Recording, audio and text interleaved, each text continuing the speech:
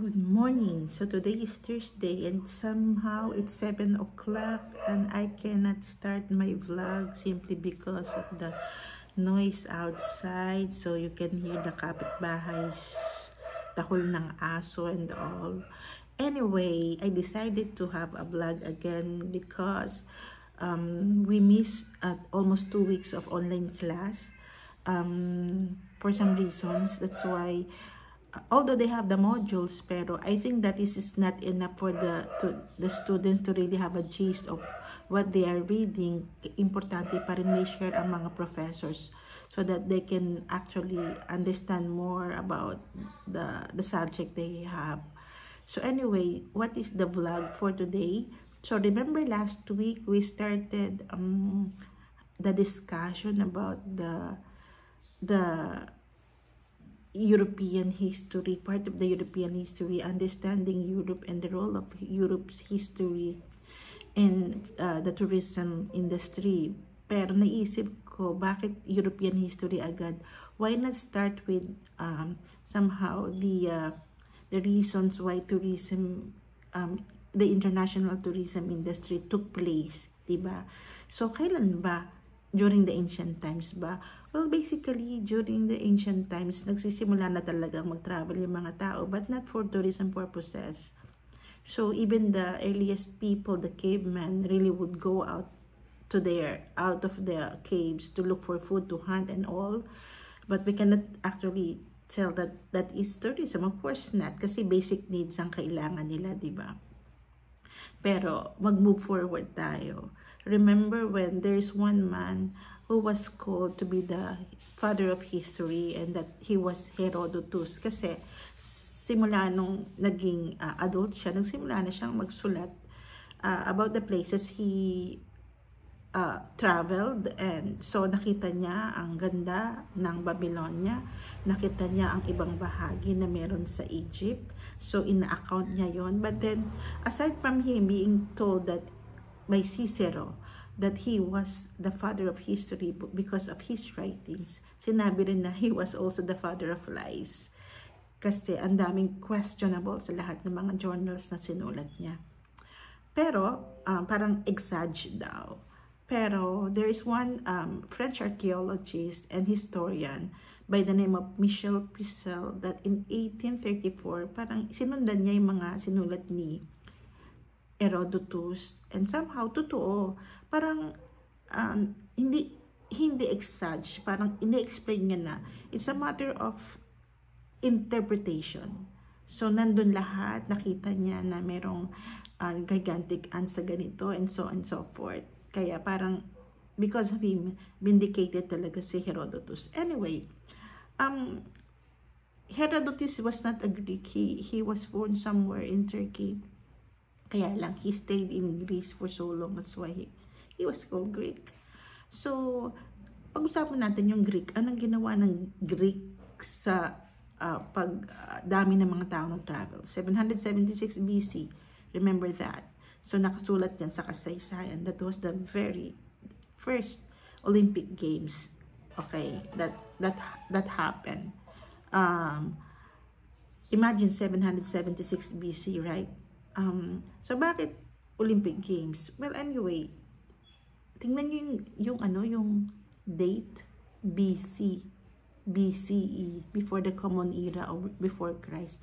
Ganong panahon, meron na silang parang ganong klaseng activity. Kaya, yung Olympic Games na meron tayo ngayon, hugot yon sa Olympic Games ng nakaraang panahon. Okay? So, dito nagsimula yung mga tao na talaga namang mag-travel. Anong meron sa Greece? Anong meron sa sa Mount Olympus because basically ginagawa nila yung Olympic Games at the foot of Mount Olympus maybe to honor uh, the god Zeus okay? Because they are going giving glory to the god and the gods and the goddesses. So people from outside Greece would go to um, that part of uh, Greece to be able to witness the the Olympic Games. May mga some trivia, sorry for the kahol ng aso, na yung mga taong manonood ng anong tawag doon sa mga athletics, yung takbuhan, yung mga ganyan. Kapag mga lalaki, syempre mga lalaki yung kasama dyan, um, it was written that only male can witness that kind of sports activity or that kind of sports competition, yung athletics. Kasi yung mga athletes daw noon naka-nude. So, bawal ang mga babae. Eh, di ba? Napaka-intriguing. Ba't nakahubad? anyway, siguro may rules kung bakit. So, dahil sa Olympic Games na yan, hindi lang mga Grego ang talagang uh, nag nag-travel. So, could also imagine some people from Egypt maybe kasi napaka tatawid, tatawid lang or from Turkey, magta-travel talaga sila to witness that kind of event. Okay? So, mag-fast forward tayo. So, after that uh, thing that happened, uh, of course, the Roman Empire gave us also their um, contribution. Why mostly people travel, what causes them to travel. Well, because the Roman Empire uh, was able to um, expand their empire outside Rome. So, ang isa sa pinaka naisip nilang gawin ay gumawa ng network of roads for them to easily administer uh, the other places that they control. Siyempre, mas mabilis magbiyahe, uh, mas maganda yung road, mas mabilis ang biyahe, uh, mas malalaman nila kung anong nangyayari dun sa ibang bahagi ng mga lugar na kung saan kinokontrol nila uh, for them to easily pacify kung meron mang uprising or something. So, di ba ang galing? And, huwag nyo rin kalimutan yung contribution ng Rome sa engineering. Alam niyo bang sa Roma, may ibang mga kalsada pa silang uh, ginawa nung ancient times, pero hanggang ngayon ay nagagamit pa rin at nadadaanan. So, di ba ang galing? So, this, kaya nga ang Rome always being called the eternal city. They were able to preserve and maintain the kind of um, um, construction buildings that they had in the past. Although, ang makikita mo sa Rome, medyo mga talagang sira na. Eh well, kung ibang dike nga dito, eh sandali lang sira na. Eh, doon pa kaya hundreds of years, nandun pa, diba? Um, nandun pa rin. Kaya nga, isa sa mga bucket list natin yan, punta sa Rome, di ba pakiramdaman. So ano pa? Ano pa yung ibinigay ng ng Roman um, Empire uh, bukod dun sa mga constructions of uh, cultural heritage nila? Katulad ng Colosseum katulad ng mga aqueducts na makikita mo katulad ng mga Roman baths and bukod dun sa yung mga yung mga bridges ang dami all over Europe. And of course yung uh, network of roads um, they were also the ones who somehow provide inns for those several travelers who would go and visit other places. So, pakiwari ko o sa kasaysayan, doon talaga nagsimula yung accommodation industry. You see? So, a lot of them are going everywhere. But then, of course, something happened. Um, traveling halted in a specific era. Why? Because of the Rome, the fall of the Roman Empire. So, who would want to uh, travel when yung lahat ng daanan mo may mga bandido na talagang magnanakaw at papatay, di ba? So, wala. So, kung mag, pumapabulusok na yung mga traveling people during that time or during that era, bumagsak during the fall of the Roman Empire. So, yung sinasabi ko, nandun yon sa uh, PowerPoint na binigay ko sa inyo class. So, the reasons, the reason also why, why Roman Empire collapsed nandun din. Balikan na lang natin. So, what else happened? But then, of course, nothing is permanent. Uh, after the collapse of the Roman Empire, the, the European people started thinking, um, ganito na lang ba tayo? Magiging stagnant na lang ba tayo? So, nagkaroon ng another era wherein they started cultivating their culture, their education, their um, civilization, which led to the modern civilization, I guess. And that is the, the, the era of the Renaissance. So, that Renaissance era took place somehow between 14th to 16th century. So, ano-ano yung mga nangyari dito? Okay? Ang dami uh, isang napakalaking importanteng event na nangyari. Nag-took off talaga yung age of exploration during this era, 14th to 16th century. So Spain and Portugal went as far as South America and some parts of North America. Okay, umabot pa sa Asia. Remember in this era when Philippines was rediscovered by Ferdinand Magellan in 1521? Okay, and so the rest is history. And then the British came to to control some parts of Asia such as India, okay, and some parts also of the Caribbean seas and Canada and Australia, even the Netherlands. Uh, the Dutch people went to Indonesia and control Indonesia for hundreds of years.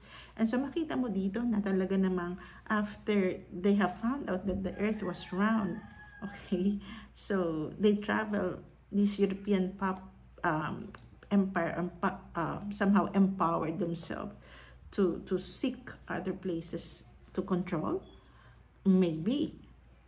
Um, sabi ko nga sa unang lecture, bakit yung mga nasa Asia, tahimik, parang uh, hindi sila lumayas, hindi sila nag-explore. Sabi ng isang estudyante, sagot niya doon, di ba? Uh, meron tayo eh. Hindi natin kailangan. We can preserve our food. May asin tayo, may ganito tayo. Um, merong bundok, merong dagat, kompleto. So, bakit kailangan pong mag-explore, umalis, mangalap? Unlike these people from the European continent, may kulang ba sila? Okay? O talagang nasa kanilang lahi lang yung pagiging um, adventurista? Well, kung titignan mo, sino ba yung most adventurous tourist na lahat gustong subukan? Di ba? So, karaniwan dyan, nasa mga nasa mga European yan. Dala, kahit backpack lang dala nila they'll go outside and then uh, outdoors and then do this and that. Okay? So, hindi natigil mula noon hanggang ngayon kung anong klaseng mga tao itong mga to. Kaya pwede sabihin natin na sila ba yung most adventurous? I could say yes, oo.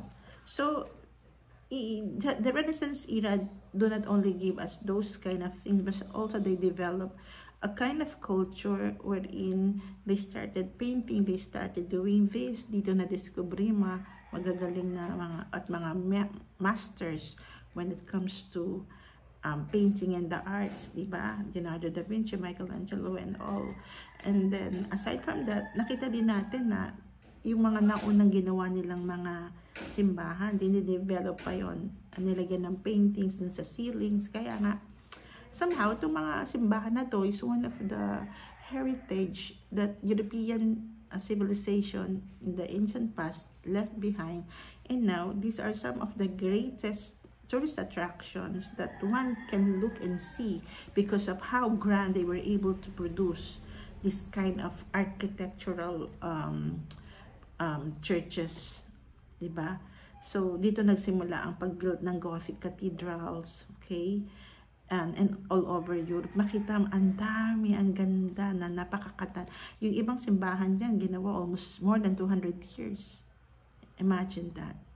Okay? Pero nandyan ngayon. May enjoy mo. Okay? So, sino yung mga pupunta dito? Ay, ah, yung mga simbahan na yan, hindi lang pinupuntahan ng mga katoliko. O, uh, other tourists who are into um, heritage tourism, who are into history, um, halo-halo ang mga nagpupunta dyan. And they really are admiring the beauty of these um, churches and other buildings and even castles all over Europe that time because they were able to produce that even after, even before Renaissance.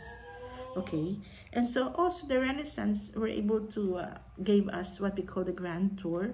Okay, at ito ata yung pinaka a major uh, final requirement ng mga estudyante nung unang panahon na kailangan mag-join sila ng Grand Tour for them to be able to, to complete the kind of education. Teka mo naman nagtitinda ng taho. Ang lakas ng boses niya, in fairness. so, Grand Tour, if pinauso yan ni Ray, uh, Queen Elizabeth the First, and maingay talaga si Taho. Hindi pa ako nag-aalmusal, inuuna ko kayo. Um, so, yung nga, pina, pinauso no Queen Elizabeth the first yung Grand Tour kasi gusto niya lahat ng mga mga tao sa korte niya well educated. Also the Grand Tours uh, one or another was able to introduce the the noble people about the culture of the other countries they visited kasi sakay sila ng barko lapag dito sa isang bansa okay so you need to somehow immerse yourselves in the kind of culture that these people are including uh, the the language they are speaking so nasabi ko nga na the, the best way for one to be able to learn the language and to speak it fluently is for them to really stay in the place and speak the language. Okay? So, kung mag-aaral ka rin lang ng lingwahe pero hindi mo yan ipapractice, madali yang makalimutan. Okay? So, anyway, um, ang galing ng ginawa ng Grand Tour, 'di ba? Kaya nung mga ang mga tao nung unang panahon, may alam silang mga lingwahe, hindi lang isa, lima at the most. Pero don't forget that the universal language the ancient people in Europe uh, were using was Latin. Okay, parang it's a Romanized language. But later, of course, you know that the kind of language that most of all or most people in the world can speak and understand is the the the English language. Okay? Um, sabi nga ng isang estudyante ko na naging uh, French dahil nakapangasawa ng French. Um, one of the reasons why um, the French cannot speak English is because for the longest time, they know very well that French is uh, the language that the European people speaks. Then, biglang naging English. So, ayaw nilang tanggapin yon uh, kasi nga, bakit? Diba? Kaya nahuli sila when it comes to speaking language. That's why for the longest time, if you go to French, they really won't speak to you in English because they cannot even speak to you in English recently tinanggap nila yan. Kaya, kasi they need also tourism. Everyone needs tourism industry. It's one way of helping the economy of one particular country to simply continue to pump up, di ba?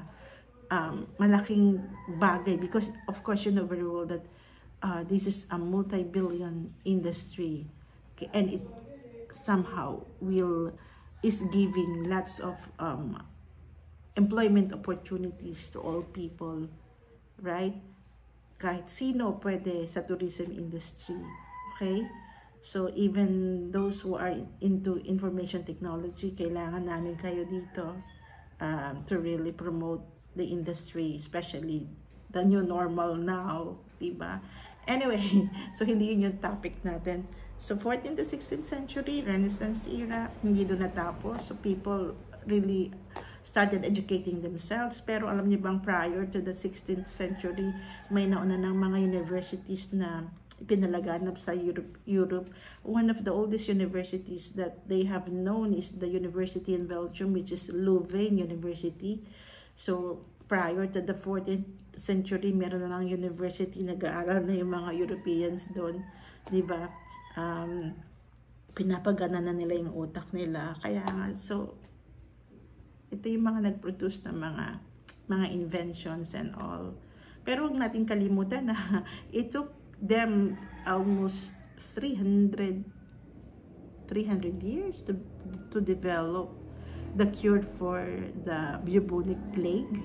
Ang tagal, di ba? Wag naman sanang ganong katagal yung pag-develop ng ng uh, antivirus sa uh, um, but I have to correct myself if is it 300 years or 300 kasi um, the bubonic plague kept on coming back sa Europe kaya nga 50% of European population uh, was somehow killed by that bubonic plague pabalik-balik they thought that it is a wrath of God that that would be the end of the world but it's not uh, virus lang pala yan galing sa uh, flea ng mga daga na galing sa Asia. Galing sa China? I don't know. Sabi nila sa Asia na dinala ng mga barko sa Europe, Europa. So, ibig sabihin pa ulit-ulit yung mga ganyang klaseng pandemya. Okay? Um, kaya siguro dapat lahat ng mga tao sa buong mundo, lahat ng gobyerno sa buong mundo, paghandaan uh, yung ganitong klaseng uh, pandemic na maaring maranasan ulit kasi nga paulit-ulit. Okay?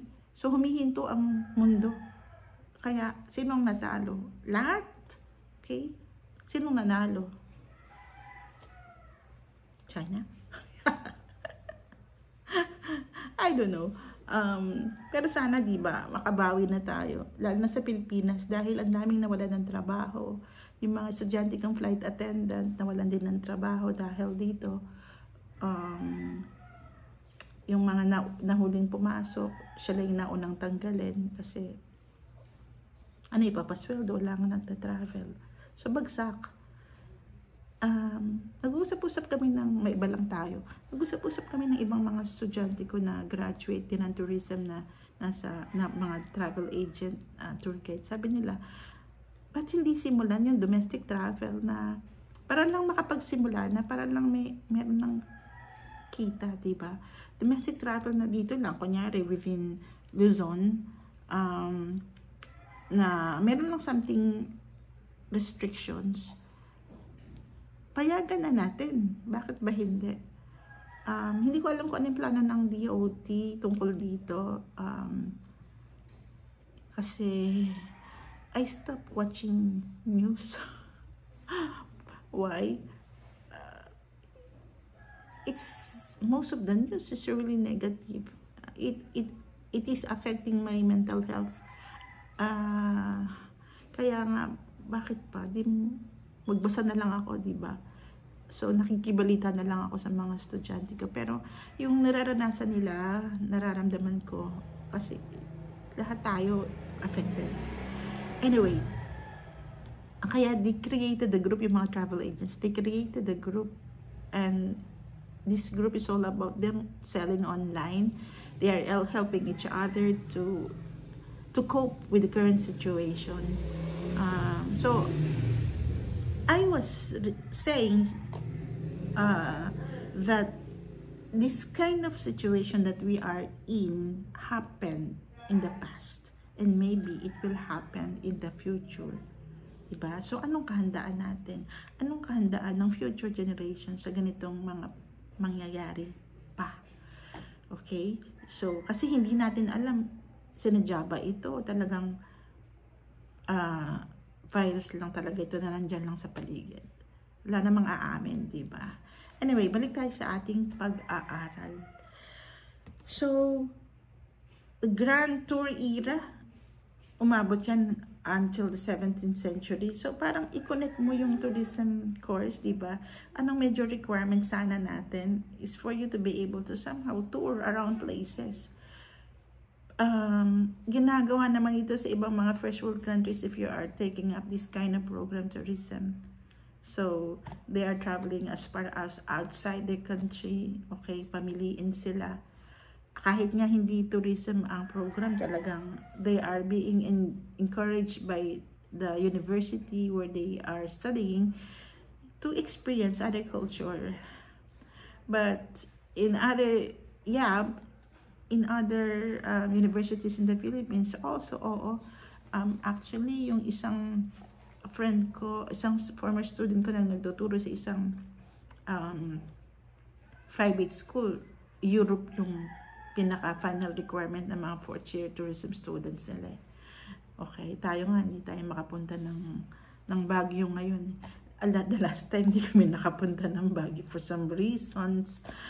Sana lang, um, maging malawak din yung pangunawa ng mga nasa institusyon kung paano ba talaga um, or ano ba yung mga dapat talagang requirements na dapat iparanas nila sa mga tourism students na katulad ninyo.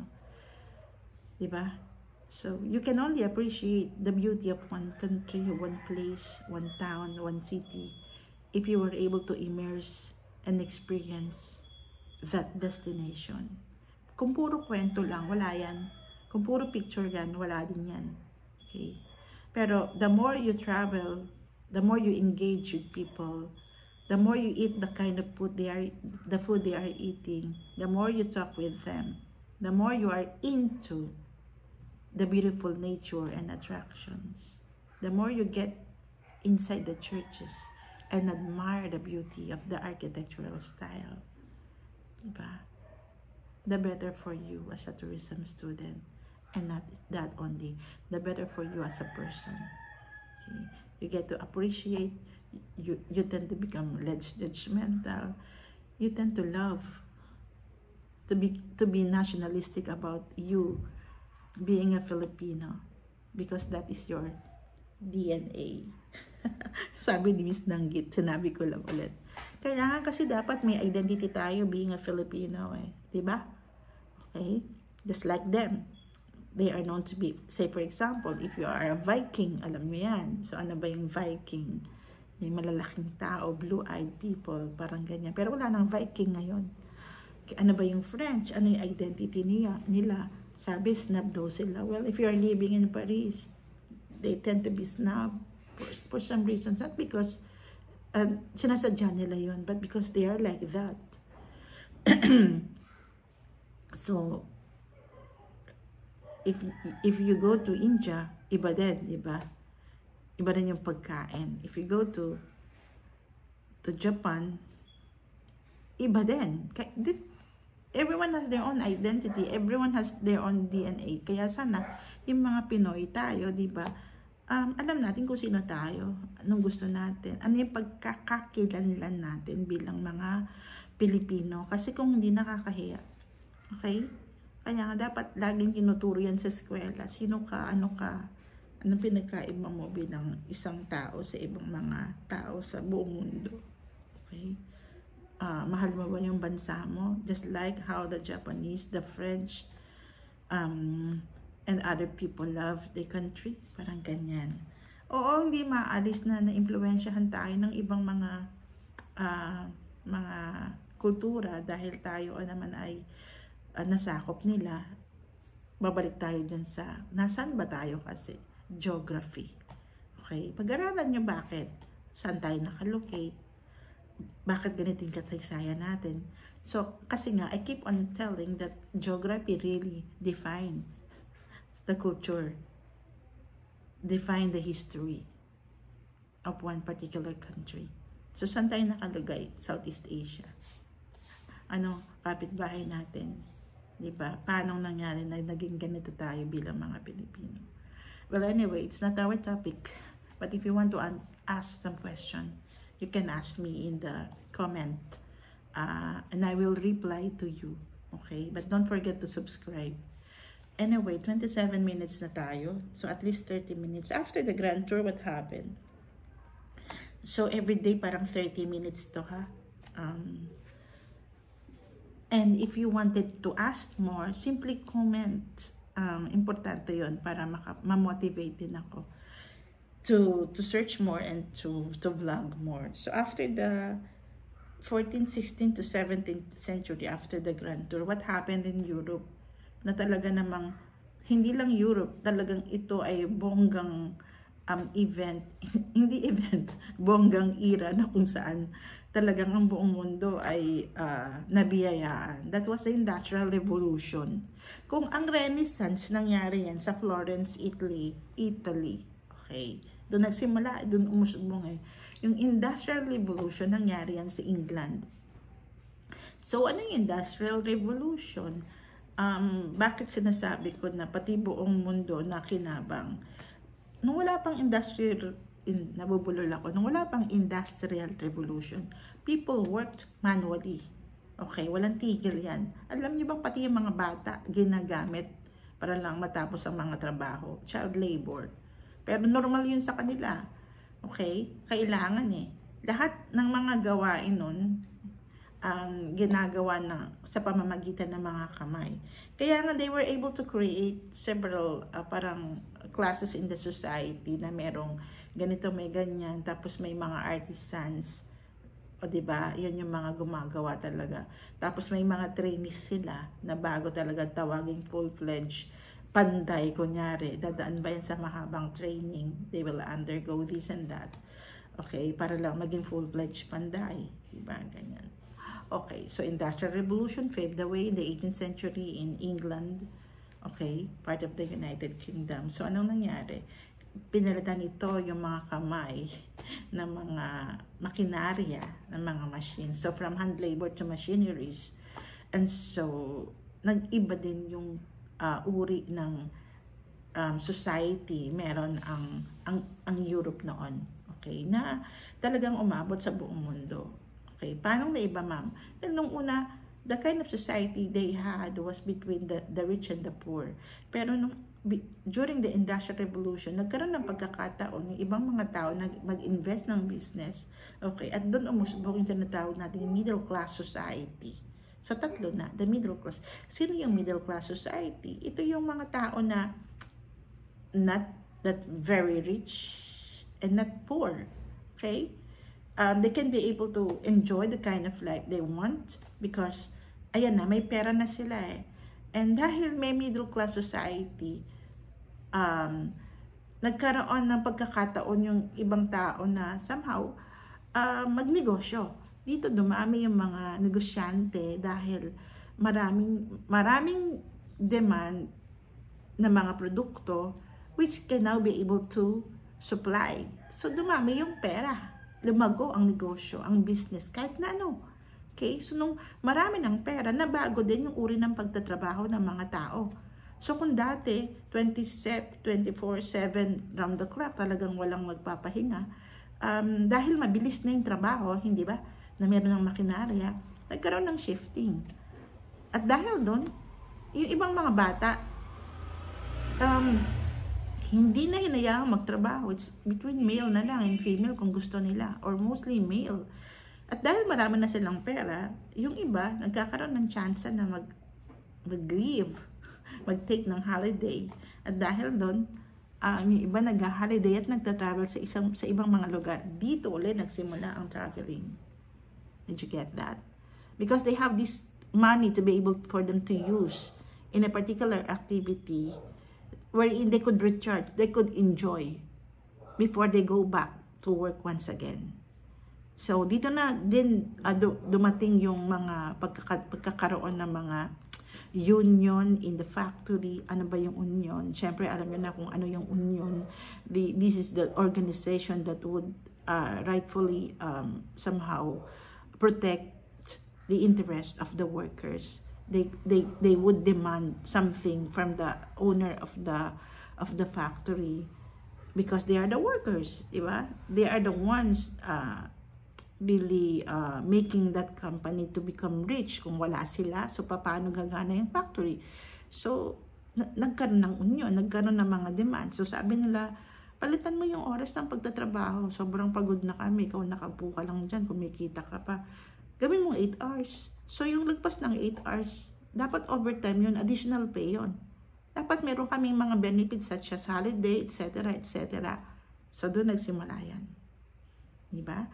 Kaya ngayon, kung natatandaan nyo, dati yung uri ng tourism meron noon, um, so, sobrang konti lang ng mga um, activities na pinararana sa mga tao. More on, ano lang, more on relaxation lang talaga, more on sightseeing. Kasi pagod yung katawan ng mga tao nung unang panahon, ang gusto lang nila talaga manood ng sunset. Okay, walang masyadong activity. Pero, anong klaseng tourism meron tayo ngayon? Diba? In one destination, andun na lahat. Lahat ng klaseng activity na maaaring enjoy mo para hindi ka na lumabas at mamili ng ibang lugar. More on walking. Okay? Bakit ganun, ma'am? Simple lang. Um, we are limited to 8 hours uh, per day work. And then in one week, we have at least two, two days of um, rest. Yung iba nga three. Okay, and then we were given holiday with pay. So, in other words, once we we decide to go on a tour or a trip, it's not for us to relax. It's for the tourists to engage to a lot of activities. Kaya, nabago. Kaya walang gagawa ng isang destination na kung saan magre-relax lang ang mga turista. They'll get bored. Nakakapag-relax na sila sa bahay. So anong hinahanap ng mga yan, di ba? Activities. Anong klaseng activities? Depende kung anong klaseng turista ka. So naiba yung mundo ng tourism because of course, you know very well that one of the characteristics of the tourism industry is that it is very dynamic. Okay? Kaya nga, kung titignan mo, ang daming iba't ibang klaseng tourism meron tayong tinatawag ngayon at malulula, malulula ka kung ano yon So, after 2020, we, we really don't know kung anong klaseng tourism meron tayo. Anyway, so that was the um, the 18th century um, and the Industrial Revolution. Hihinto ako doon. Kaya ang assignment nyo ngayon, um, anong mga pagbabago meron sa Industrial Revolution, after ng Industrial Revolution, ano mo yung, alam mo yung uh, lugar na meron during the Renaissance era na napalaganap, uh, ano yung mga lugar na, o yung mga na-create nila, o yung mga bagay na na-create during the Renaissance era. Okay? So, sa buong mundo, o hindi, mag-concentrate tayo sa, sa Europe. Um, anong klaseng mga lugar ang pinupuntahan ng mga turista sa, sa Europe muna tayo. Okay? So, paanong nakatulong ang Industrial Revolution sa kasaysayan ng Europa? Okay? Hanapin nyo sino si Thomas Cook. And that would be all for today class. I hope um, you'll ask me questions in that comment section box and then I'm going to answer you. So, kakain muna ako. Hindi pa ako nag-almusal. Good morning, good day, and I hope you continue reading your module. Okay? Have a nice day.